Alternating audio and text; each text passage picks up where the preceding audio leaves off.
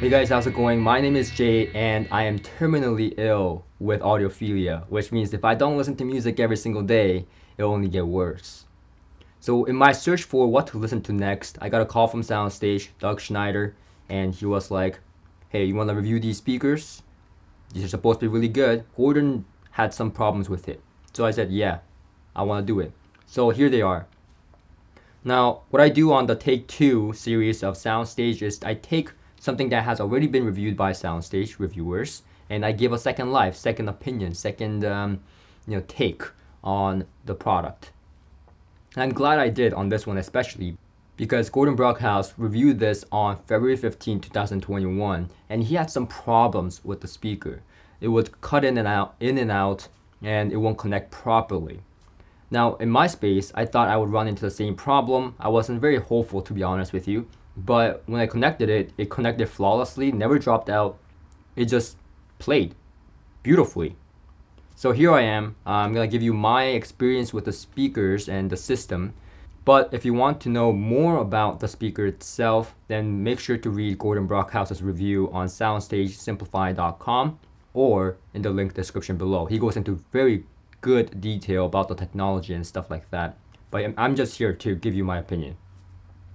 So, when I connected them, it was very intuitive. All I had to do was click link in the back of the speaker and in the, in the back of the um, sound hub, and then click link again on the sound hub. So you're clicking like four times. There's a quick start guide which is very intuitive. You just follow that and you should be fine. You should be good to go. Once you're done that, you're able to connect it with the sound hub through your mobile device or iPad or whatnot and play music. And better yet, I'm able to connect it to my TV wirelessly as well, which is fabulous because there, I don't need to run optical, I don't need to run all these things. I can just choose my sound um, setting on the TV itself, which is great. Now I don't have to fiddle around with any cables. I want things to be simple as possible in my entertainment room. So this small speaker, I was quite, quite surprised by it because not only is it good for entertainment in terms of movies, in terms of gaming, it is so good for music as well.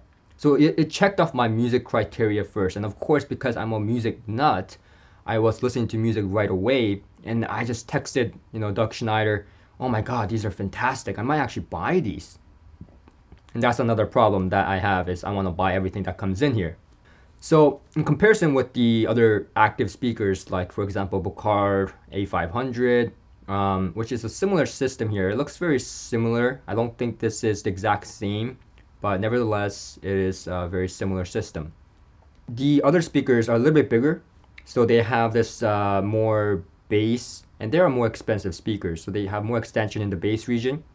But what's special about these speakers that kind of um, segregates away from the rest is that these speakers are small. And because they're so small they create this magnificent center imaging. Even though there's a gigantic TV right in the middle of my room it creates this pinpoint imaging and this grand scale of soundstage not in terms of you know big speaker scale. Big speaker big speakers sound bigger.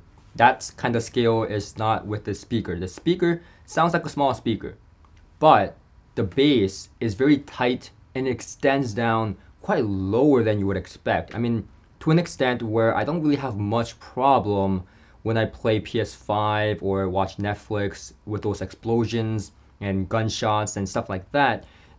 I have almost no problems with the bass output on the small speaker, and that is something to be said when it comes to that kind of performance on a small speaker. That is some achievement right there. But you can also add a subwoofer if you want to, and I definitely will if I decide to get these speakers. I definitely will add a subwoofer. But as it is, it sounds pretty darn good with great extension and most of all, fast, agile bass. Now when it comes to the high frequency, it is also very interesting because it's not super refined, but refined enough that it is just kind of astonishing that this is an active speaker. It sounds open, it has fluidity, it sounds like a good uh, speaker, like a, like a passive speaker. It doesn't sound too class D to me. So I think Class D and active speakers has come a long way, especially uh, with certain technologies in place now.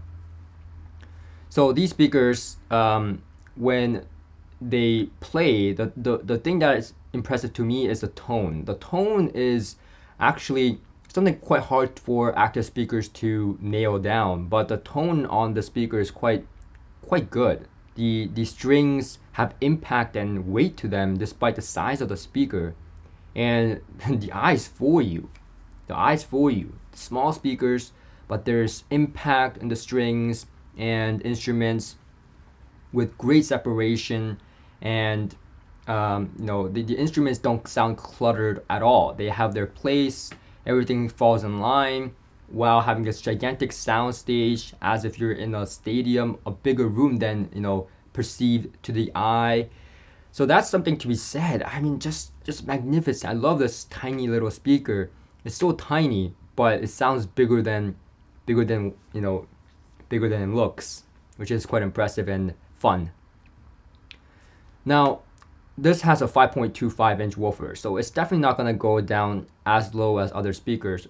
I, like I said, it also has a 50 watt Class D amplification, so it's not going to play as loud as some other op- mm, alternatives out there that is you know meant to play in a bigger room. This is meant for a more small entertainment living room space, which these speakers are fantastic at.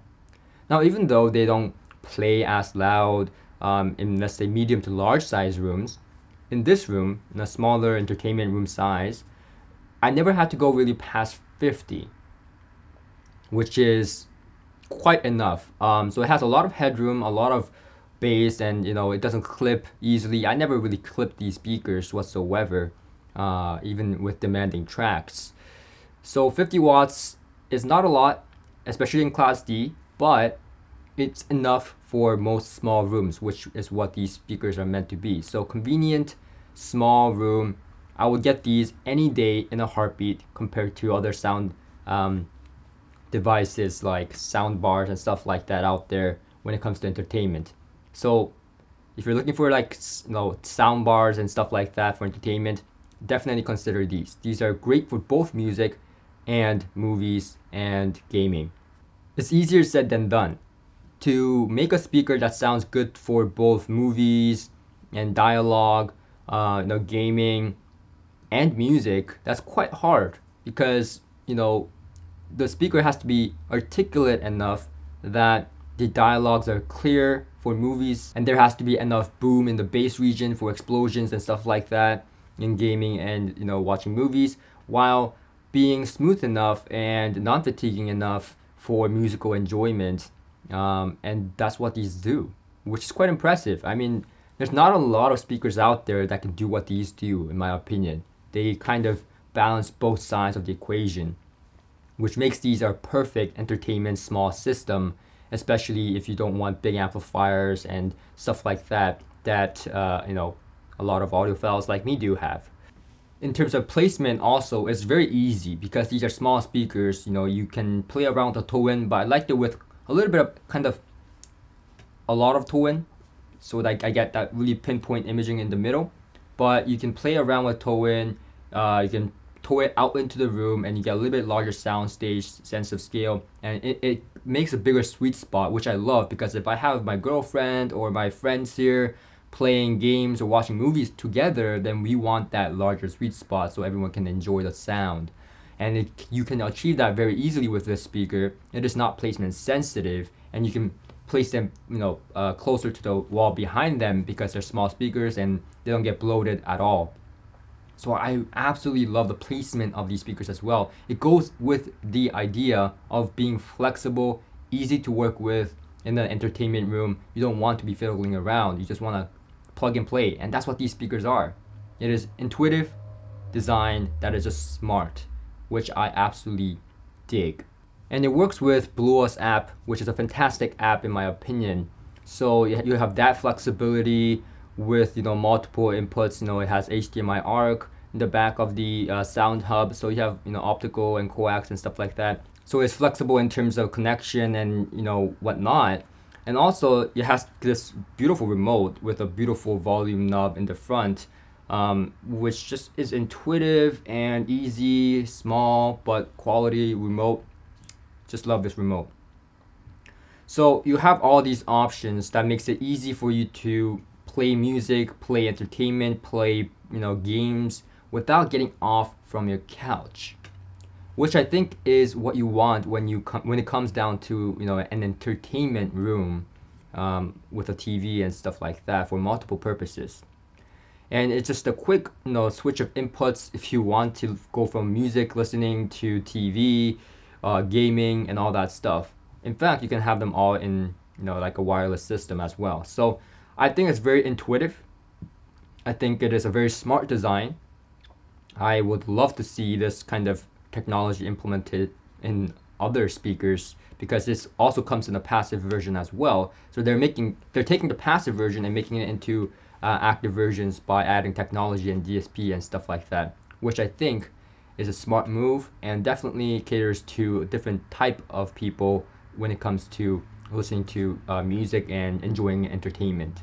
So very smart design. I very much approve of this and I am very glad that I got to review this. So thank you for watching. If this video was helpful to you, make sure to smash that like button. That's a little bit weird make sure to click really hard on that like button and also consider subscribing for more episode of Take 2 on Soundstage. Until next time.